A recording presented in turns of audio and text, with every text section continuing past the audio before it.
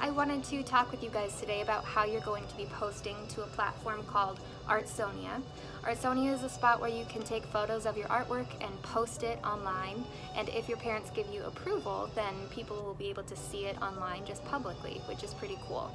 It's a great way for you to get feedback and it's a great way for me to document when you're turning things in because it has a time marked stamp of when you submitted. So I'm going to show you all of the steps that you need to follow to post to Artsonia, and it's really important that you pay attention to exactly what I'm expecting from you for this, because Artsonia is the way that I grade all of your projects. Um, so make sure that you're paying attention to all of these steps. It's super important because you will be doing this to turn in every single project that you complete. When you're finished with your project, you're going to take it over to where it says Artsonia Station. So we've got this space that's right next to the window, so it's prime lighting for taking photos. We're going to set our picture down and you're going to grab the iPad so that you can get started with the process. So once you've got the iPad, you're going to look for the app that says Artsonia.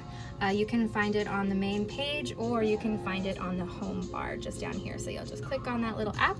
When it comes to this home page, you're just going to click on students and it gives you the option to scan the QR code or enter the class access code. Sometimes after this has been done a couple of times in the students area, then you don't get this prompt, but if you do, you'll just click scan QR code. So scan QR code. And up next to the window is this little QR code that you're just going to help it find. And then it says Centennial High School, please confirm, and we say that's correct.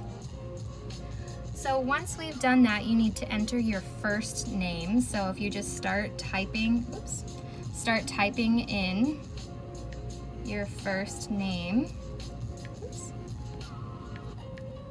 So we're saying it's Haley. Then you can go through and see which one is you. You can also check to make sure that you've got the correct grade. So if I said Haley H and I clicked on it, then I can say this school year it's double checking that it's 2019 with 2020 and we're going to say add art. Once you've clicked on add art, it will give you a list of all of the projects that are available for you to turn in. So it's only going to give you the projects that are in your specific class. So you can go through and decide which one of these projects is the one that you're turning in. So you'll click on that and then it gives you the option to take a photo. So that's when you're going to be lifting this up and taking your photo. These are things that I really want you to pay attention to. First, looking at my piece of artwork, just like straight above it, I can tell that it's like sort of bent and curved right here. So I can take the time to just kind of flip it over and just kind of crease it going the opposite way as carefully as possible. We don't want to damage our art, but we also don't want it to look like it's curved in our picture. So that's better along this edge. It's still sort of curved on this side. So I'm going to just lift it up and very gently like run my fingers along that opposite side so that I'm not making an additional dent. And I'm just sort of trying to tweak it back into a perfect shape. Once it's pretty close, I'm going to just grab that iPad and I'm going to hold it directly above my image. So we need to kind of center it in the middle so that we don't have any awkward angles that are left over. So I'm just holding it directly above. I'm also standing off to the side so that my shadow isn't coming from the window and I'm not like making this shadow right here. So sometimes kids stand there and you can see that their shadow is in the way. So I'm going to take a photo that is not acceptable so that you can see what I don't want first. This is an example of an image that is not acceptable. So the reason why it would not be acceptable is mainly because the borders are so uneven. And if I tried to crop that, then I'd have to crop off a huge chunk to make it not have the black in the background. So that's something that you really need to be paying attention to is how much space you have on the entire border going all the way around. This is another example of something that I will not accept for your grade. So if you happen to take a picture and the orientation was wrong, so say it took the photo upside down, there is a fairly simple solution to fixing this. So you can just go to this little rotate button and it'll rotate it around until it's correct. Uh, this still has a little bit of an issue because you can see that the borders are uneven. So this section is smaller than this section. So that means that I need to retake this one. There's the little retake button up at the top if you need to retake it. So this is as close as I could get it since my paper is a little bit bent and that happens, that is a pretty common problem, but there's an easy way to fix it. So first I took my photo so that I could see that black border around the edges so I could tell if it was pretty close to being correct uh, as far as like the gaps sizes. Um, when you are ready to crop it, there are two different options. There's this little horseshoe, which is the dumbest tool. So that means that you would just then like take this little spot and bring it in, which then makes it lopsided. So I don't know why that's an option. Please do not select the horseshoe tool. What I would rather you select is this little tool with the windows uh, and the arrow. So if you could choose that one, that would be excellent. And I want you to drag this corner all the way down until it's at the very last point before you see that little bit of black. So all the way up until you don't see any black on that side. Same with this side.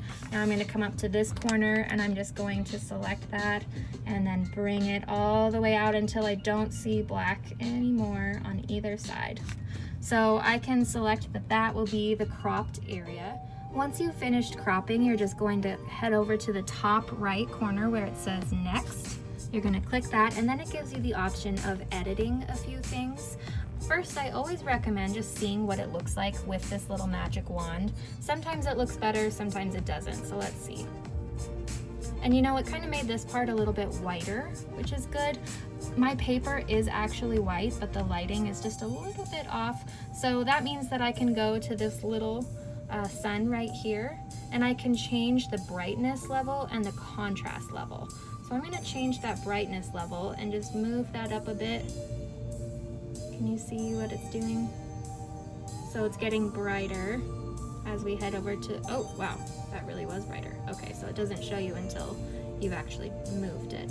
So I can move that and just try and experiment to see if I can get my paper a little bit whiter in the background. Moving the contrast makes it the whites whiter and the darks darker.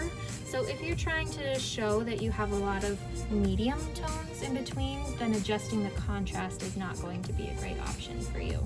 Um, if you are doing just a pencil drawing and you want it to show black and white, I don't mind that you select the black and white option, uh, but unless it is supposed to be black and white, don't choose that.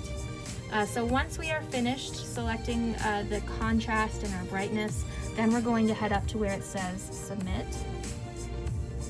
Submit. And then it gives you the option to add a title. I don't require that you add a title, so you can choose to skip it if you'd like. And then it gives you the option to add an artist statement, which I will let you know if you need to add. Usually you don't, so I'll just say skip. And then it gives you the um, just a little, it's like a receipt, submitted to teacher for review. So that tells you that you have already added it.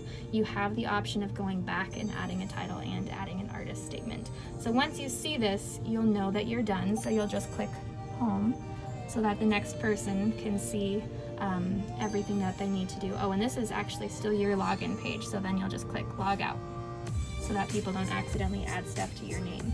And you can see that once one person scans the QR code, it just goes back to this page so that usually you don't have to scan the QR code. After you're finished posting your picture, just go ahead and take the iPad and just set it back up on the stand